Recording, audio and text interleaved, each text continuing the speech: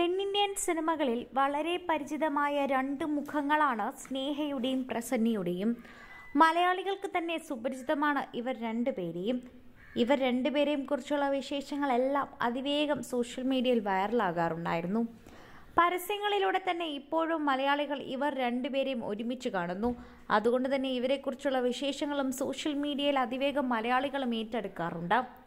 തമിഴ് സിനിമകളിലൂടെയാണ് മലയാളികൾക്ക് സ്നേഹയും പ്രസന്നയും സുപരിചിതരായത്. കൂടാതെ ആരാധകർക്കേറെ പ്രിയപ്പെട്ട താരദമ്പതികൾ കൂടിയാണ് ഇരുവരും. ഇരുവരും വിവാഹശേഷം നിരന്തരം സോഷ്യൽ മീഡിയയിലൂടെ കപ്പിൾ ഫോട്ടോസും മക്കൾക്കൊപ്പമുള്ള ചിത്രങ്ങളും പങ്കുവച്ചിരുന്നു.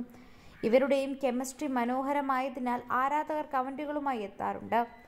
എന്നാൽ ഇപ്പോൾ കുറച്ചു ദിവസങ്ങളായി കോളിവുഡിൽ നിന്നും പ്രചരിക്കുന്ന വാർത്തകളിലൊന്ന് ഇരുവരും വിവാഹമോചിതരായി എന്നുള്ളത് തന്നെയാണ്. ഇത് എല്ലാ ആരാധകരെയും വിഷമിപ്പിച്ചിരിക്കുകയാണ്. ഇപ്പോൾ താരദമ്പതികൾ കഴിഞ്ഞ കുറച്ച് ദിവസങ്ങളായി വേർപിരിഞ്ഞാണ് താമസിക്കുന്നതെന്ന തരത്തിലുള്ള റൂമറുകളാണ് പുറത്തുവരുന്നത് അതേസമയം അത്തരം റൂമറുകൾക്കുള്ള മറുപടി എന്നോണം ഒരു സോഷ്യൽ മീഡിയ പോസ്റ്റും കഴിഞ്ഞ ദിവസം സ്നേഹ പങ്കുവച്ചിരുന്നു. ഭർത്താവ് പ്രസന്നയ്ക്കൊപ്പമുള്ള ചിത്രമാണ് അവസാനമായി സ്നേഹ സോഷ്യൽ മീഡിയയിൽ പങ്കുവച്ചത്. ഭർത്താവിനെ ചുംബിച്ചുകൊണ്ട് സ്നേഹ കുറിച്ചത് ഇങ്ങനെ. ട്വിന്നിങ് ഹാപ്പി വീക്കെൻഡ് സ്നേഹയുടെ സോഷ്യൽ മീഡിയ പോസ്റ്റ് പ്രത്യക്ഷപ്പെട്ടതോടെ തന്നെ ഇരുവരുടെയും ആരാധകരുടെ സംശയമെല്ലാം അവസാനിക്കുകയാണ്.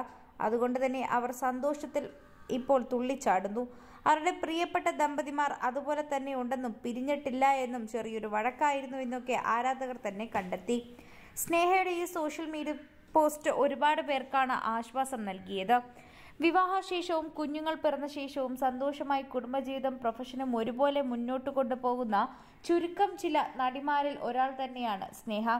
സ്നേഹ എന്ന താരത്തിന്റെ പ്രത്യേകതയും അതുതന്നെയാണ് രണ്ടായിരത്തി പന്ത്രണ്ടിൽ വിവാഹിതരായ സ്നേഹയ്ക്കും നടൻ പ്രസന്നയ്ക്കും രണ്ട് കുട്ടികളുണ്ട്. രണ്ടായിരത്തി ഒൻപതിൽ പുറത്തിറങ്ങിയ ത്രില്ലർ ചിത്രമായ അച്ചമേടുവിലാണ് പ്രസന്നയും സ്നേഹയും ആദ്യമായി ബിഗ് സ്ക്രീനിൽ ജോഡികളായത്.